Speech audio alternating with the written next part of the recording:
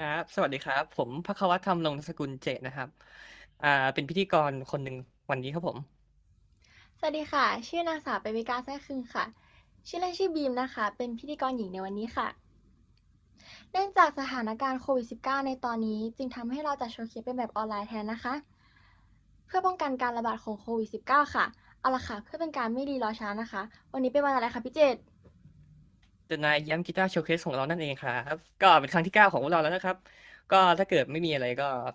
มาเริ่มคนแรกกันเลยดีกว่าครับ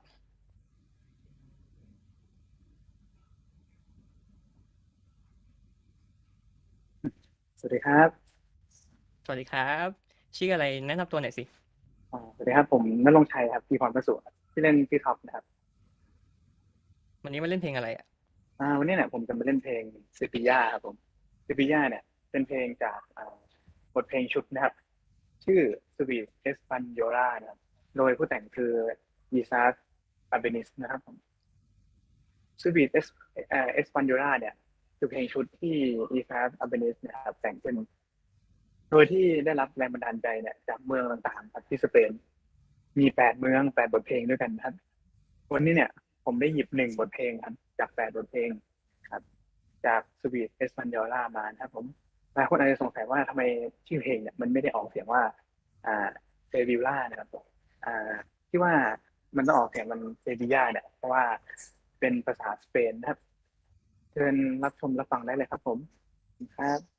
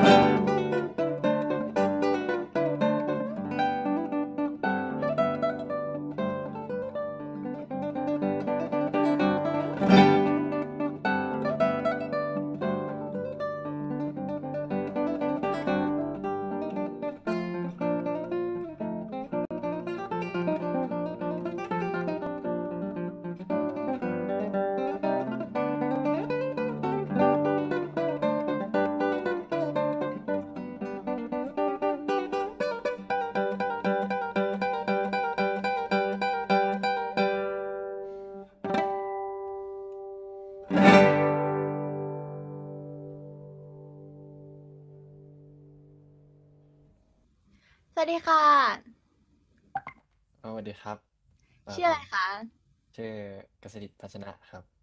ครัวับนผนี้มมาเล่นเพลงอะไรคะ เอ่อ Serenata Española ครับเอ่อแต่งโดยเจ้าความมาละครับ เดิมแล้วเพลงนี้เป็นเพลงเปียโนครับผมเอ่อ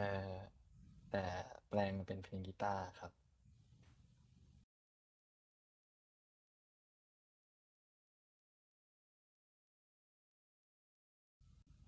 ครับผมรับฟัง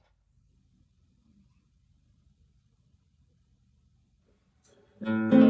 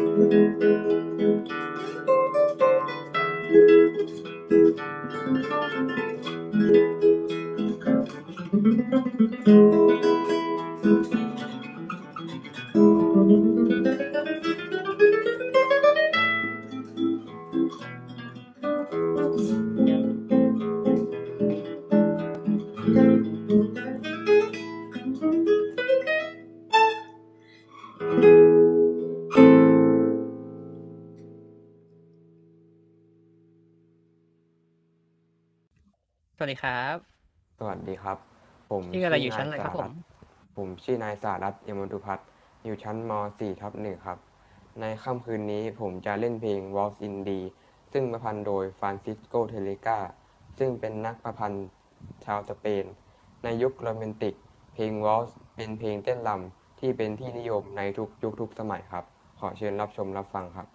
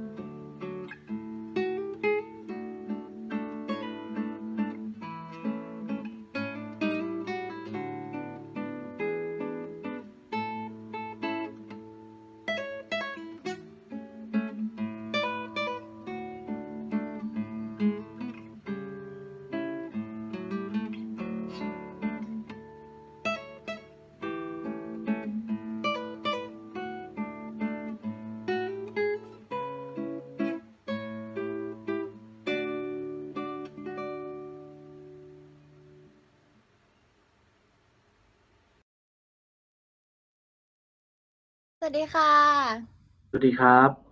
ชื่ออะไรคะ อ๋อภูผาครับพุทธินันท์พุราพลีครับผม วันนี้จะมาเล่นเพลง Adios Noino ครับ แต่งโดยอัสเตอร์เบลซาร่าครับผม อืมพิอาซูล่าใช่ไหมเมื่อกี้เป็นเพลงจากสเปนหมดเลยเนาะตอนนี้เราก็แบบเปลี่ยนประเทศมาอาร์เจนตินาบ้าง อืม ข้ามทวีปเลยทีเดียวอะเป็นเพลงเกี่ยวกับอะไรล่ะอ่าผม เพลงก็เพลงนี้นะครับเอ่ออัสเตอร์เบลซาร่านั้นแต่งให้พ่อของเขาที่เสียไปแล้วครับผม โดยความหมายของชื่อเพลงก็คือ Adios หมายถึงลาก่อนครับ ส่วน Noino ก็คือชื่อของพ่อครับครับผม เชิญรับชมได้เลยครับผม ขอบคุณครับ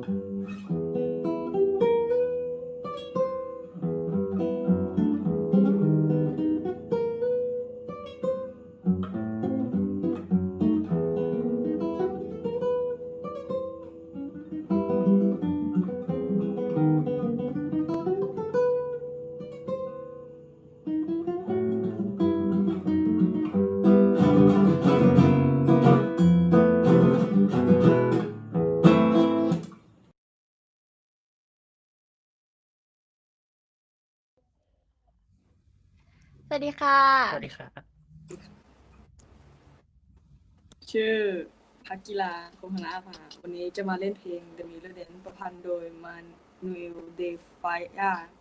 เป็นเพลงบัลเล่ต์มีชื่อว่า The Three Corner Hat อยู่ใน Act 2ขอเชิญรับชมรับฟังได้เลยค่ะ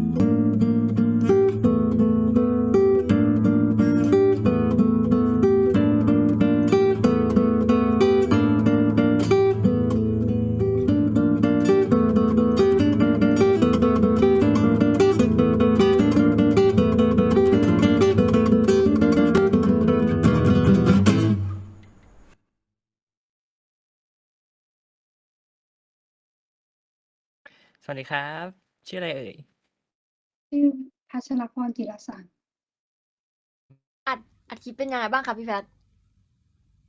ก็โอ้โหสุดเลยแบบค่อนข้างนานกี่เทคเนี่ยแพท เยอะแบบโอเค ไม่เป็นไร แล้ววันนี้มาเล่นเพลงอะไรล่ะ ก็เพลงแรกที่จะเล่นก็คือยี่สิบสี่คาปิโชเดโกยาโอปุสหนึ่งเก้าห้าของมาริโอคาสเตลนูโอโวเทเดสโก อ่าเป็นนักประพันธ์เพลงชาวอิตาลีเนี่ยเพลงนี้ได้รับแรงบันดาลใจมาจากภาพวาดคอลเลกชันของศิลปินชาวสเปนที่มีชื่อว่าฟรานซิสโกโกยาเทเดสโกก็ได้นำรูปภาพมาตีความบทเพลง แล้วก็ได้นำทำนองจากอาจารย์สี่ท่อนมาใช้ เพื่อเป็นการสื่อความหมายให้กับเพลงแล้วก็แสดงความเคารพให้กับอาจารย์ ก็เลยมีชื่อเรียกว่า Give to the Master เวอร์สิบแล้วก็อีกเพลงถัดมาก็จะเป็น Impromptu แต่งโดยริชาร์ด r อ d นีย์เบนเน็ตในปี 1968 เพลงนี้ก็ใช้เทคนิค twelve tone เข้ามาร่วมด้วยก็คือเหมือนไม่มีคีย์ก็แต่งมีด้วยกันห้าท่อน ท่อนสองและสี่จังหวะจะค่อนข้างเร็ว ท่อนสามจะมี character ที่ค่อนข้างแตกต่างจากท่อนอื่นก็เชิญรับชมและรับฟัง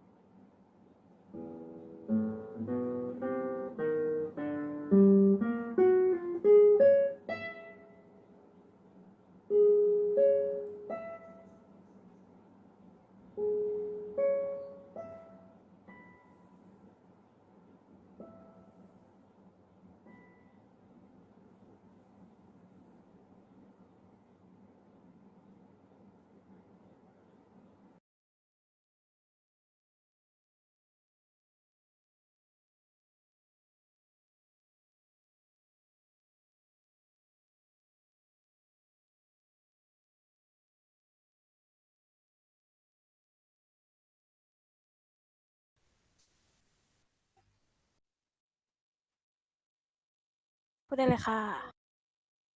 สวัสดีค่ะสวัสดีครับ ชื่ออะไรคะ ไม่ใช่ว่าก็แนะนำตอนต้นไปแล้วเหรอ แนะนำตัวอีกทีก็ได้ก็พักวัฒน์ธรรมนงนามสกุลนะครับ ชื่อเล่นว่าเจดอยู่มหกครับผม วันนี้พี่เจดมาเล่นเพลงอะไรคะ อ่าโซนาต้าโอปุส47 ของอัลเบโตกินาสเตล่าครับ อัดคลิปเป็นยังไงบ้างคะ อืมก็ตอนพี่อัดนี่ก็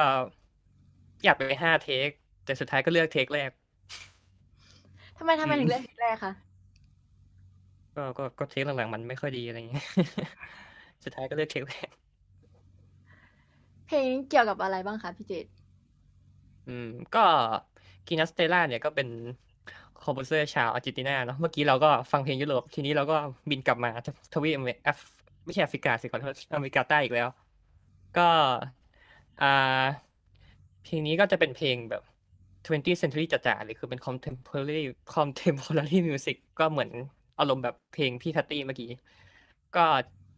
เพลงเนี่ยมันจะมีทั้งหมดสี่ท่อน พี่จะมาเล่นสองท่อนแรกก็คือ e s o d i o ก็คือแปลตรงตัวก็บทนำส่วนท่อนสอง scasso ก็แปลว่าสนุกก็จะมีจังหวะที่ค่อนข้างเร็วอะไรอย่างนี้ ก็เชิญรับชมได้เลยครับ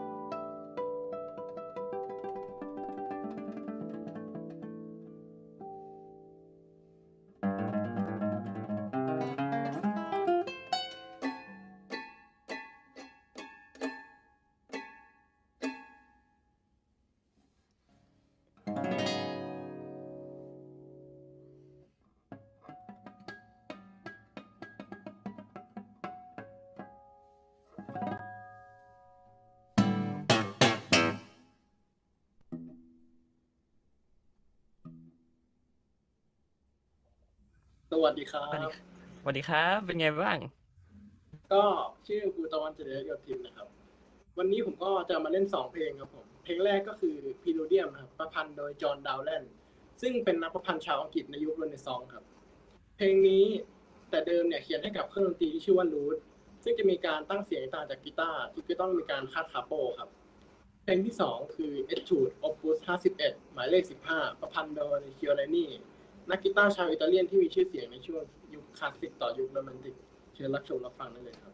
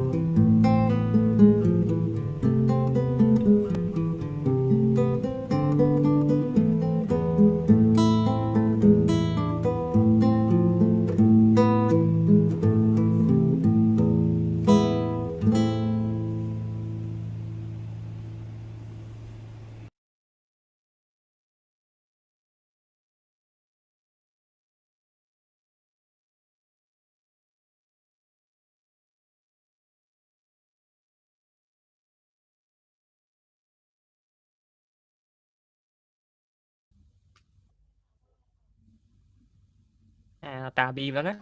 วันนี้ไม่เล่นเพลงอะไรล่ะ วันนี้มาเล่นเพลง Asturias ค่ะ ของอิซากอิวอัลบาตันค่ะ เอาเบนิส